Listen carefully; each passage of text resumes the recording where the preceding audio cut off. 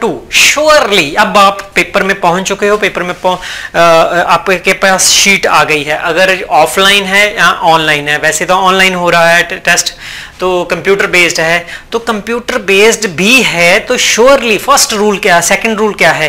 कि आपने जो स्टेम है स्टेम जो स्टेटमेंट या क्वेश्चन फॉर्म होती है जो शुरू में एमसीक्यू में पूछी जाती है तो उसको समझना है। अगर वो ही समझ नहीं आई तो आप हो ही नहीं सकता कि रॉन्ग इनपुट तो राइट right आउटपुट नहीं होगी। जैसे कंप्यूटर का ये फार्मूला है। इनपुट गार्बेज आउटपुट गार्बेज तो उसको समझना है। उसको क्या समझने के लिए कुछ छोटी छोटी स्ट्रेटजीज हैं। अगर आप टॉपर हो, अगर आप ज़्यादा इंटेलिजेंट हो तो आपको लगता है, यार छोटी छोटी बातें हैं। नहीं, मैं पहले ही बता के आया हूँ, जो अपने आप को वीक समझते हैं। जैसे मैं बहुत नालायक बहुत नालायक रहा हूँ, बहुत ज़्यादा नालायक रहा हूँ तो मतलब मैं समझता हूँ, मुझे किसी ने नहीं बताई। अब तो आपको कई स्ट्रेटजी पता भी होगी। ये जो अंडरस्टैंडिंग है, ये क्या है? जब हम किसी क्वेश्चन को रीड करते हैं ना तो एक बात याद रखनी है, आपका मेमोरी सिस्टम एक्टिवेट हो जाता है, ठीक? शुरू में वो एक्टिवेट धीरे धीरे होता है और वो जब रीड करते हो, आपने एक question number M C Q first question read किया। ठीक है? स्टेम रीड कर ली। उसके बाद चार ऑप्शन है। वो कैसे रीड करने आगे चल के चल के बात करते हैं। तो ये जो इंफॉर्मेशन लॉन्ग टर्म मेमोरी से है वो आ, ए, ऐसे ऐसे ऐसे रिटराइवल ये रही।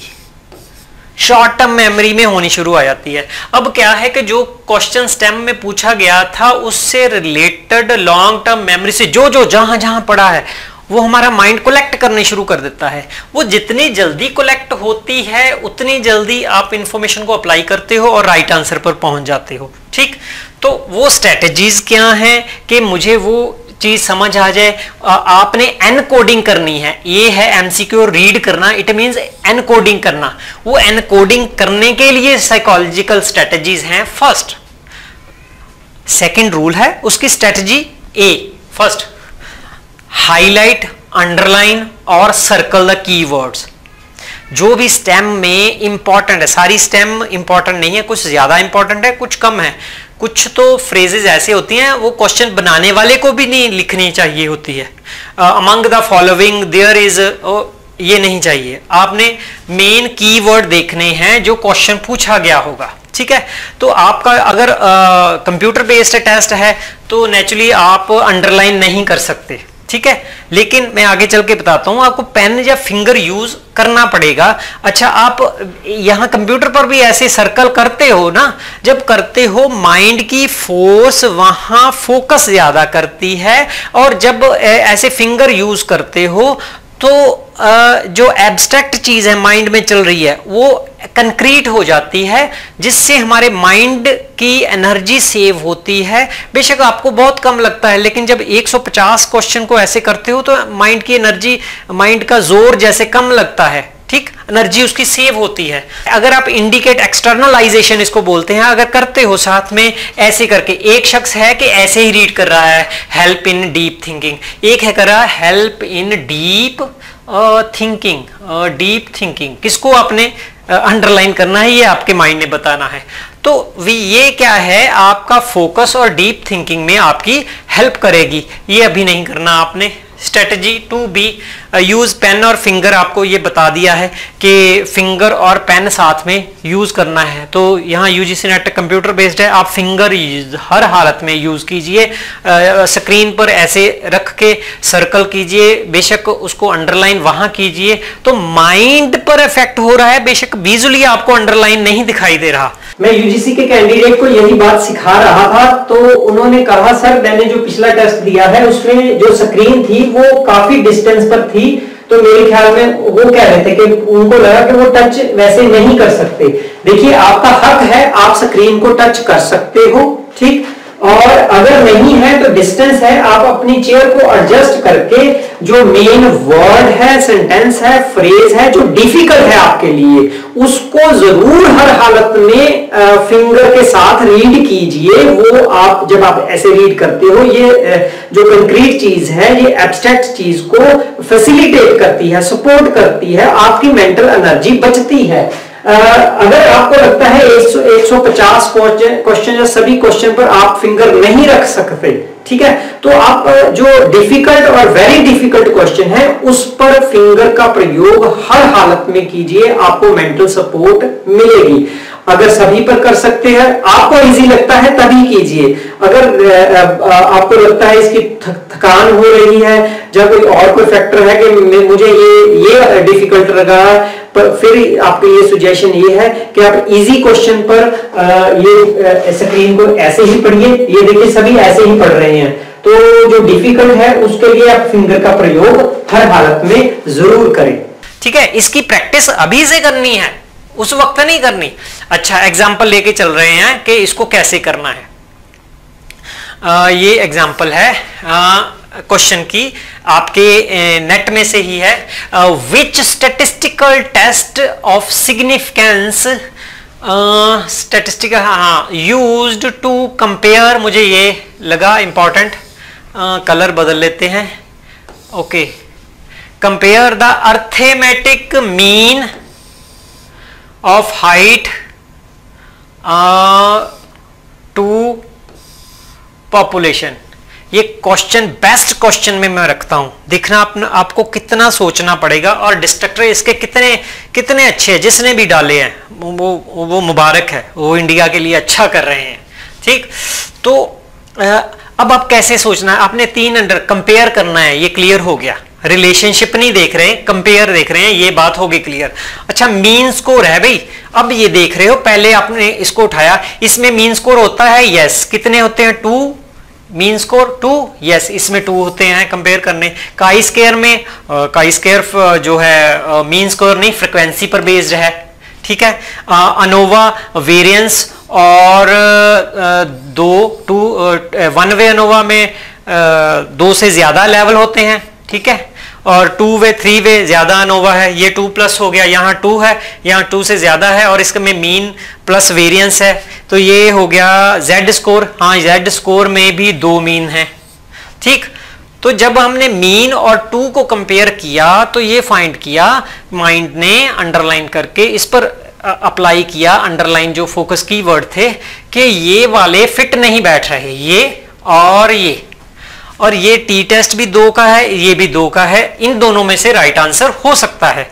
दूसरा हाइट हाइट अगर अब आपने सभी पर अप्लाई करना है वैसे ज़रूरत नहीं है क्योंकि पहले ही दो निकल चुके हैं।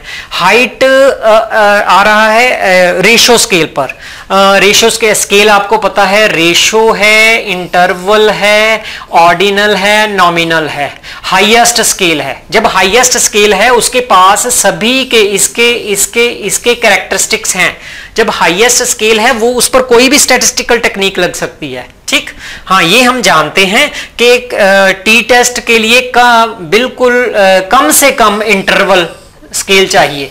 तो ये रेशो है, दोनों चलते हैं, बिल्कुल ठीक है। और काई स्केयर के लिए कम से कम ऑर्डिनल स्केल पर डाटा चाहिए। ठीक है? आ, अगर इससे ऊपर है तो भी ये चलेगा।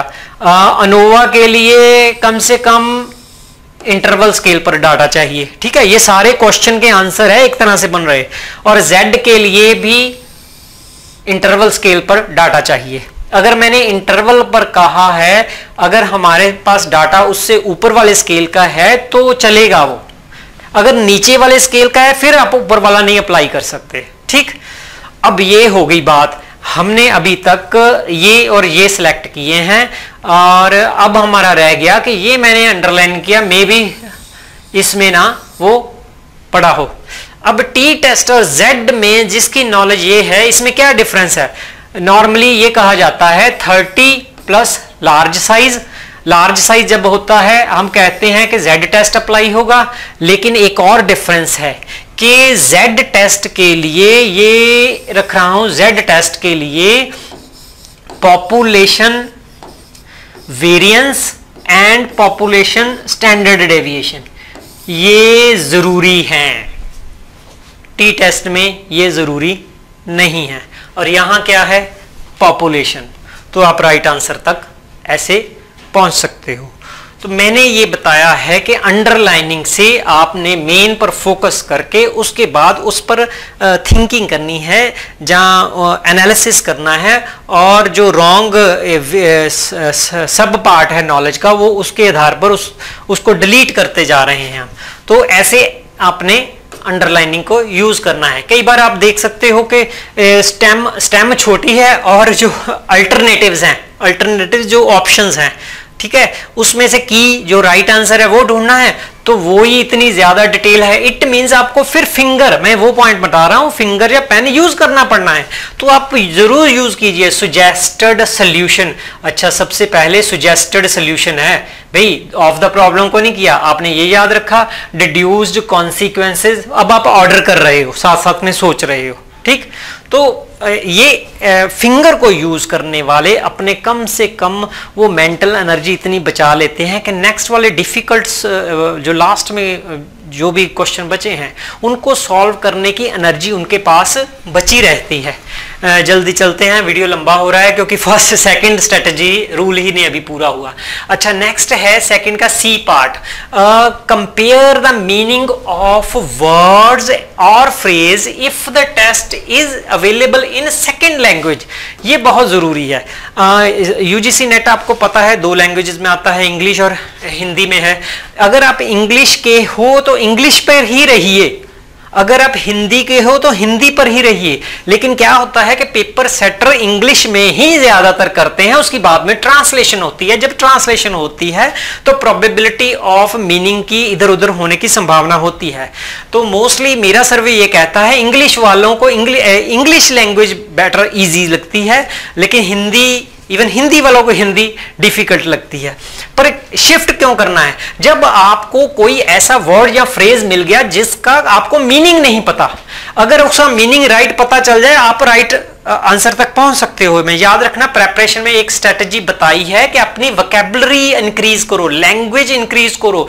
उससे ही आपके पाँच, छह, सात, आठ इवन दस क्वेश्चन तक ठीक हो सकते हैं। अगर आपको पेपर में आने वाले सभी वर्ड्स और फ्रेज का मीनिंग ही क्लियर है। दैट इज़ वाई वो प्रेपरेशन में यही कहा था कि जो सिलेबस में जो भी टर्म आती है, उसकी एक ग्लॉसरी बेशक बनाओ, उसके मीनिंग बेशक मैं वैसे वीडियो वो बनाऊँगा कि सिर्फ़ मीनिंग सिलेबस में जो जो टर्म्स हैं अगर अगर हो सका इन दिनों में। तो वो जो वर्ड है, अगर नहीं पता चलता तो वहीं फिक्स मत रहिए। उसको उसके सामने वाली जो ऑप्शन है, उसको रीड कीजिए।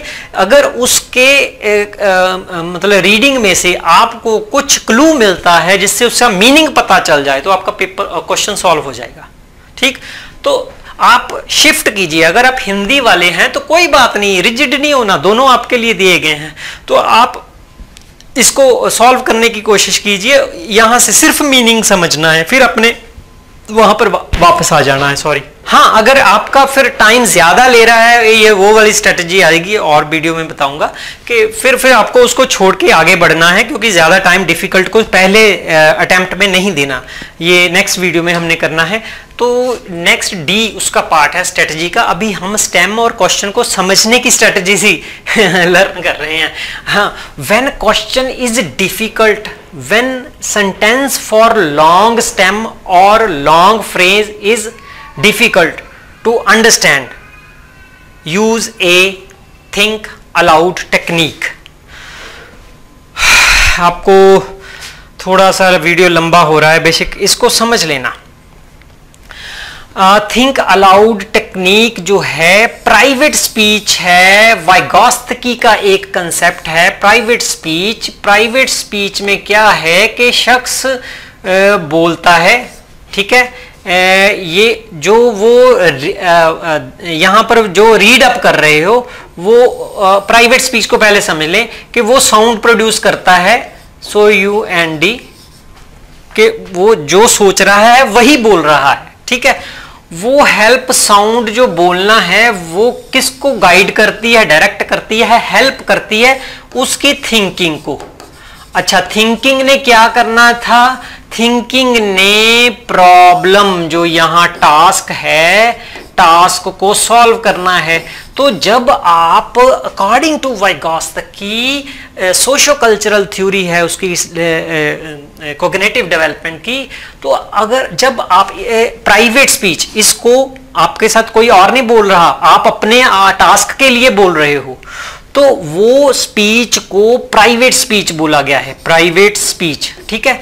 तो प्राइवेट स्पीच की इस थ्योरी ने जो जिसको वेटेज सबसे ज़्यादा वाइगॉस्थकी ने दी है प्याजे ने नहीं दी है आ, तो इससे कई मेथड्स और टेक्निक डेवलप हुई हैं टीचिंग लर्निंग प्रोसेस में। कॉग्नेटिव मॉडलिंग है जैसे ऐसे ही थिंक अलाउड है। थिंक अलाउड जब वाइगॉस्थकी ने ये कंसेप्ट रखा प्याजे ने इग्नोर किया था तो वाइगोस्तकी के इतने कंसेप्ट पर बाद की रिसर्च जो हुई वाइगोस्तकी के बाद वाइगोस्तकी तो जल्दी चले गए थे रशियन साइकोलॉजिस्ट थे तो बाद की प्रॉब्लम जो रिसर्च है, उसने क्या कहा, जब कोई पर्सन डिफ़िकल्ट प्रॉब्लम फेस करता है तो डिफ़िकल्ट प्रॉब्लम को सॉल्व करने के लिए वो प्राइवेट स्पीच वो फिर बोलने लगता है, ठीक है? तो रिसर्च ने आगे क्या कहा? जब डिफ़िकल्ट प्रॉब्लम है प्लस आप प्राइवेट स्पीच यूज़ कर रहे हो तो प्रॉब्लम सॉल्विंग की प्रोबेबिलिटी बढ़ जाती है। ठीक? तो आप, मैं क्या कह रहा हूँ कि थिंक अलाउड आप ऐसे जब रीड कर रहे हो डिफ़िकल्ट डिफ़िकल्ट अगर लॉन्ग सेंटेंस डिफ़िकल्ट क्वेश्चन या स्टेम जहाँ अल्टरनेटिव आया है, तब ये यूज़ करना है। तो थिंक अलाउड मीन कि आप ऊँची बोलोगे एग्ज़ाम में कैसे बोल सकते हो? तो इसकी तीन तीन चार कैटेगरी हैं थिंक अलाउड की। एक तो ऐसे ही बता देता हूँ एक तो है कि जैसे मैं बोल रहा हूँ, जैसे मैं सो अच्छा इसका ये, अगर ये ना हुआ इसको सॉल्व करने से अच्छा। नहीं ऑप्शन बी से बे तो ये तो गलत, ऐसे नहीं बोल सकते आप। आप क्या करोगे, दूसरा इसका क्या है कि आपने आवाज़ कम कर ली वी स्प्रिंग थोड़ा थोड़ा बोल रहे हो। अगर आपको लगता है इससे दूसरों को डिस्टरबेंस हो रही है, वो आपके लिए गलत है एथिकली आप रॉन्ग हो। फिर एक सिर्फ़ लिप मूवमेंट है। आप लिप मूव कर रहे हो, पूरी तरह से कर रहे हो, इससे किसी किसी को डिस्टरबेंस नहीं हो लेकिन इस लिप मूवमेंट से बेशक थोड़ी सी साउंड अगर आपको लगता है तो वो आपको डायरेक्टली हेल्प कर रही है डिफ़िकल्ट स्टेम और लैंग्वेज और वर्ड और फ्रेज और अल्टरनेटिव को अंडरस्टैंड करने के लिए। तो एग्ज़ाम में, जहाँ एग्ज़ाम की तैयारी से पहले एग्ज़ाम में मैं यूज़ करने के लिए ये कह रहा हूँ तो आप lip reading lip movement use करके अपनी ब्रेन को हेल्प दे रहे हो गाइडेंस दे रहे हो डायरेक्शन दे रहे हो असिस्टेंस दे रहे हो जिससे उसकी एनर्जी कम और डिफ़िकल्ट प्रॉब्लम थोड़ी इजी थोड़ी इजी हो जाती है, ये रिसर्च बता चुकी है। तो ये आप अप्लाई कर सकते हो। वापस चलते हैं। तो थिंक अलाउड टेक्निक आप यूज़ कर सकते हो।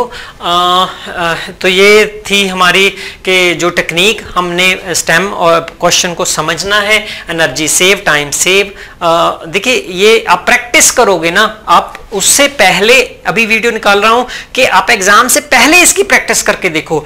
तब भी अपनाओ अगर मेरे को नहीं लागू करना तभी अपनाओ अगर आपको सेटिस्फेक्शन मिलती है। अगर आपको लगता है यार हाँ मेरे लिए ये सूटेबल आपके लिए सूटेबल है। ये सभी के लिए सूटेबल नहीं है हाँ, रिसर्च बेशक बता रही है लेकिन अभी आपने प्रैक्टिस कर ली है कि नहीं? प्रैक्टिस करने के बाद पता चलेगा कि आपके लिए कितनी सूटेबल है ठीक? देखिए कितनी बड़ी स्टेम है इसको जब आपने रीड करना है वही point the relationship between three अच्छा रिलेशनशिप जैसे ये अंडरलाइन किया मैंने ठीक है? आ, ये साथ में अंडरलाइन करके बताता हूँ। वाइट वाला करता हूँ। ये वाला। देखिए अभी मैंने साथ साथ में बोला ये ज़रूरत थी मुझे बोलने की लेकिन ये मुझे गाइड कर रही है। आ, अच्छा रिलेशनशिप मुझे लगा ये इंपॉर्टेंट है।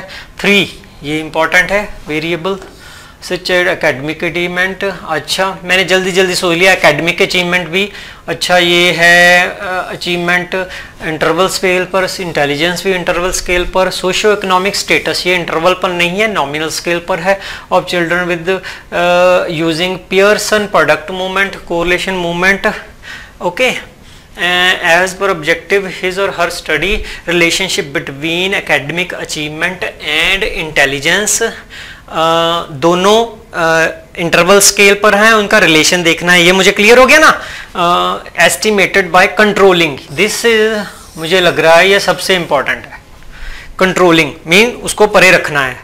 The influence of socio economic status अच्छा उसको परे रखना है। तो विच स्टेटिस्टिकल टेक्निक जिसको परे रखते हैं, उसको पार्शियल कोरिलेशन मैंने अभी देखो अभी मैंने ऑप्शन में नहीं गया, मैंने माइंड में सारा सोच लिया, अभी भी ऐसी तकनीक पार्शियल कोरिलेशन होता है, ठीक है? अब मैंने ऑप्शन नहीं देखे, ये भी ये आगे जाके एक स्ट्रेटजी बननी है। अभी नेक्स्ट स्ट्रेटजी यही होनी है, उसकी डेमो अभी हो गई है। तो फिर आपने जल्दी जल्दी देखा कि वो है रीड आपने सभी करने हैं। मल्टीपल कोरिलेशन नहीं नहीं, वो तो है ही नहीं, ज़्यादा थोड़ी है। Find it of correlation ratio no estimating emergence का का स्केयर नहीं, का स्केयर तो ऑर्डिनल स्केल पर चाहिए यार। अच्छा फाइंडिंग आउट पार्शियल है राइट right आंसर चलो। ये ऐसे सॉल्व करना है। जब आप थक जाते हो डिफ़िकल्ट प्रॉब्लम को फेस करते करते रीड करते करते, जहाँ आपको थकावट हो गई है माइंड को थकावट नहीं भी हुई है आधे घंटे तक आपको, आपकी एनर्जी लग चुकी है तो आप इसमें से कोई टेक्निक अपनाई कि ये वेस्टेज ऑफ़ टाइम नहीं होगा। पामिंग क्या है कि आपने दोनों ही, आप कोई क्वेश्चन के बारे में सोच रहे हो, सोच लो भी। तीन सेकंड चार सेकंड ऐसे अपनी आँखों को थोड़ा सा प्रेस कर लो। जितनी देर सोच रहे हो प्रेस कर लो। आपकी आँखों ने लगातार कितने आवर जो है मिनट जो है वो, वो एनर्जी देनी। इनको भी रेस्ट चाहिए। अगर रेस्ट देते हो साथ में ही एनर्जी सेव हो जाती। है इनकी फंक्शनिंग बढ़ जाएगी। करके देख लो। अच्छा हेड रबिंग है। अच्छा होता है। बाद में बताऊँगा। पहले मालिश भी करवा सकते हो अपनी, पेपर में जाने से पहले। कोई प्रॉब्लम नहीं है, करवाइए, उस दिन ज़रूर मालिश करवाइए, है ना? उसकी प्रैक्टिस लेकिन चार पाँच दिन पहले कर लीजिए। मालिश मुझे सूटेबल है, सभी को रहती है वैसे तो। चलो नेक प्रेशर है। चलो, ये मैं डेमो दूँगा, आगे मुझे कोई पर्सन चाहिए। तो आप यहाँ से ना, अगर थक जाते हो, सोच सोच रहे हो ना, साथ में यहाँ से, ये देखिए, यहाँ से ऐसे प्रेस कीजिए, ऐसे ऐसे ऐसे। ऐसे ऐसे ऐसे ऐसे ऐसे। ए, साथ में यहाँ से यहाँ से अंगूठे लगा के थोड़ा सा प्रेस कर लीजिए। कितने? एक दो तीन चार सेकंड आपको एनर्जी आप करके देखिए अभी करके देखिए। मैं डेमो देता हूँ किसी को बुला के साथ में ऐड करके ये देता हूँ। ओके डीप ब्रीद अप कर सकते हो। ठीक?